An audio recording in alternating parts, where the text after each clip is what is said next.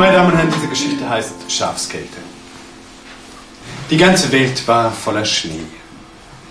Der früh aufgegangene Mond, die sanft erhellten Fenster und das Glitzern der Lichter auf dem allgegenwärtigen Weiß ließen die Stadt leuchten.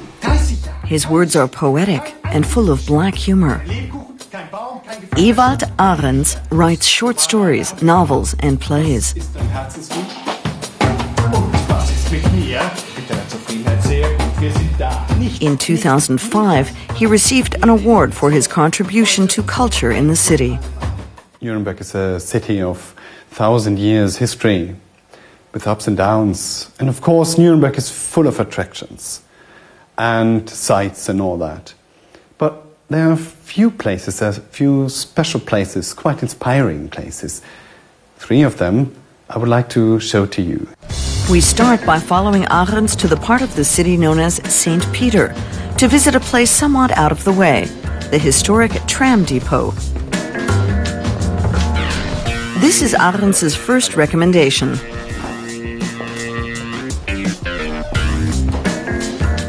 Visitors can admire more than 20 different trams from horse-driven vehicles to coal-powered ones. Some of them are more than 100 years old. They've all been carefully restored.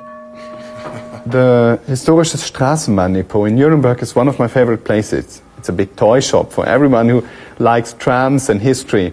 And it shows all the history of the Nuremberg trams since 1900.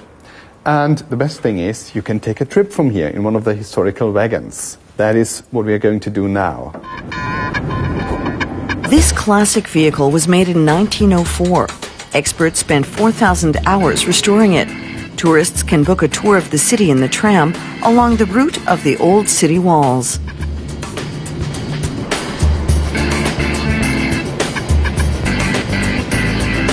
This place is where the very first station in Europe was situated. Right now, right here. Our tram journey ends, and Arenz leads us to an area called St. Johannis. His second recommendation is the Hesperides Gardens Coffee House.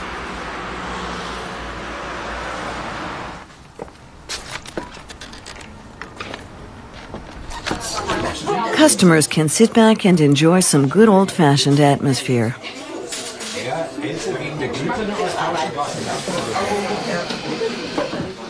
Let me invite you to this beautiful cafe.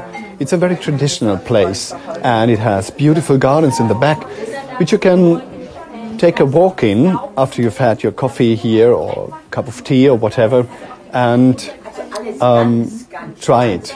It's really, really nice. Quite an inspiration. Wealthy merchants cultivated citrus fruit here back in the 17th and 18th centuries.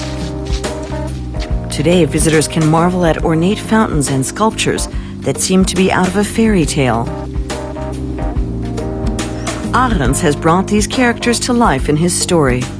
Fauns and watermen, trolls, dwarfs from the gardens, they all went down to the market and to the inner city and they were a lively people. Right in the middle of the city, Arenz leads us into a secret underworld.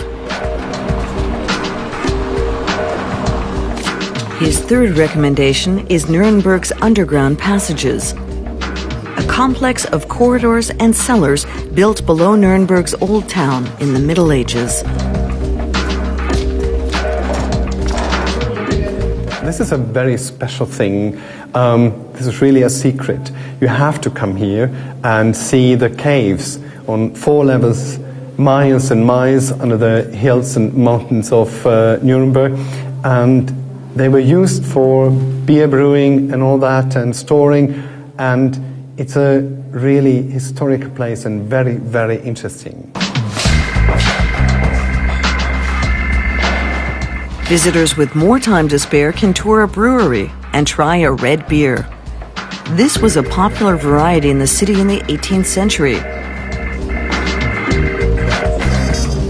Ewald Arenz recommends Nuremberg's underground passages. The Hesperides Gardens Coffee House, the historic tram depot.